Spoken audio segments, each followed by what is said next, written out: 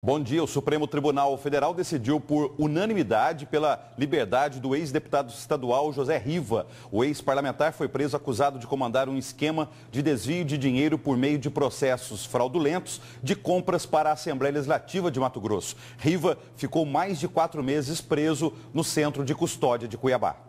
Depois de quatro meses preso, José Riva conseguiu um habeas corpus junto ao Supremo Tribunal Federal, que acatou as alegações da defesa sobre a ilegalidade de sua prisão por não representar ameaça à sociedade.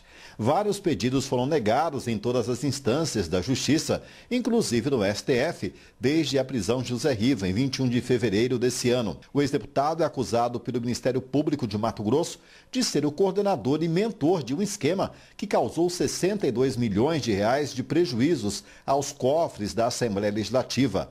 A investigação do grupo que combate a corrupção descobriu processo licitatório com fraude em compras de material de expediente e equipamentos de informática para a Assembleia. O crime teria ocorrido durante a permanência de José Riva como presidente do poder.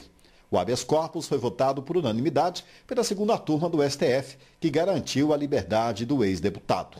A expectativa da defesa, no entanto, era agilizar a chegada do Alvará até o centro de custódia, onde Riva permanecia preso até o início da noite. Dano Supremo sair, essa decisão já saiu, mas a gente ainda não recebeu a, a decisão, vai vir para a juíza e aí vir um oficial de justiça de plantão para poder cumprir.